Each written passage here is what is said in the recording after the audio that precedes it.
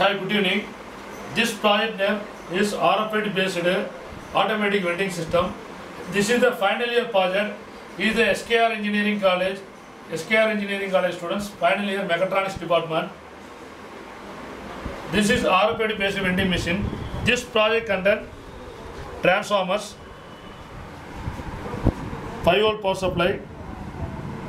This is going to microcontroller, power supply going to micro, microcontroller, LCD display, 16 cross 2. This is RFID reader, 26 bit vegan output. This is the RFID card. This is our RFID card. Another transformer. This is 2 volt power supply. This is the stepper driver circuit. Stepper motor having 4 coil. 1, 2, 3, 4. 4 are optocoupler, pre-amplifier and power amplifier. This is the buffer. This is going to stepper motor. This is a simple mechanism for the vending machine. This is a simple mechanism for the vending machine application.